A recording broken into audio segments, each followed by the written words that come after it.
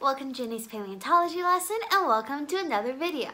So this video is going to be part two of the speech that I gave during one of my paleontology classes about an amazing summer program called Stones and Bones. So without further ado, let's get into the video.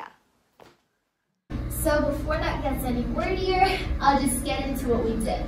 So on the second day that we arrived at the campsite, which is after we pitched the tents, um, we started uh, a process of breaking the overburden with like sharp edge shovels, flat edge shovels, peccary picks, axes, like sledgehammering, um, to sort of get rid of that first layer of overburden. So one of the reasons why um, the fossils in this formation are so well preserved is because of this layer of overburden or oil shale above all these layers that contains a lot of fossils.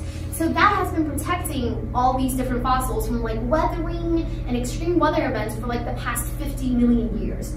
But that is both a blessing and a curse because while it provides us the opportunity to actually break through the overburden and find those fossils, breaking through the overburden was quite a chore. As you can see, we equipped it some very advanced technology to try to break through that first layer.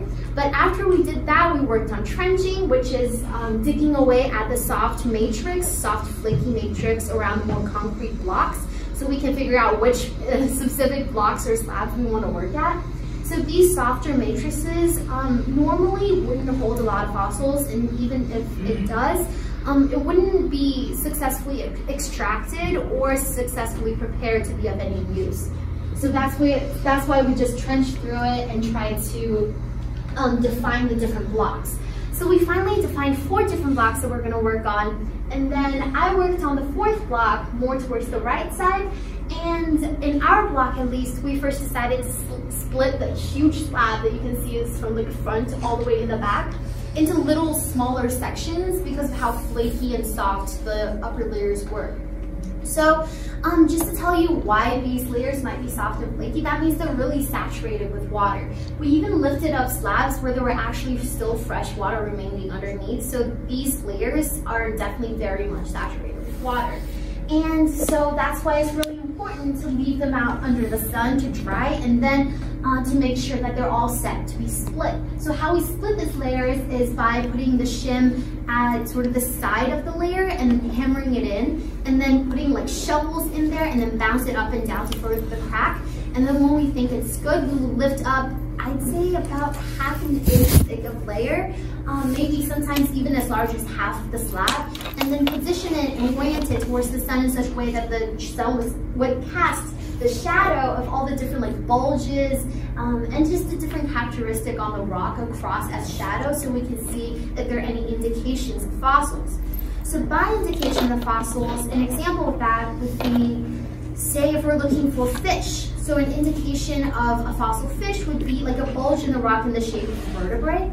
Um, and you know, experienced paleontologists like Drew and Adrian who worked on our block can really tell you the species of the fish, the orientation, and like all these different information from just looking at the bulge. And then if we have a very thick layer, we would consider splitting it and resplitting it so that we can see if there's any fossil trapped inside. Um, and then inevitably we sort of went into harder layers that are much harder to break through. So that could be layers that are just really rock hard or layers that refuse to be split neatly into layers that we can lift up.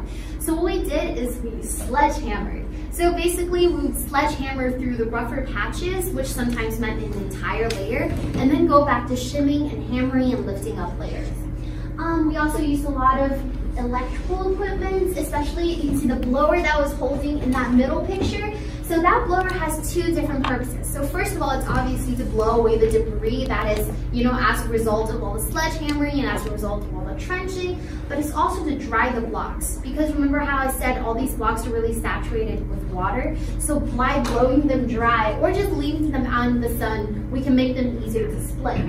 We also, the way that we extracted the fossil from all these layers is by first locating it, obviously, say on the slab, and then we would draw a rectangle around it with a frame. And then we would cut along the lines of that rectangle with power saws about an inch deep.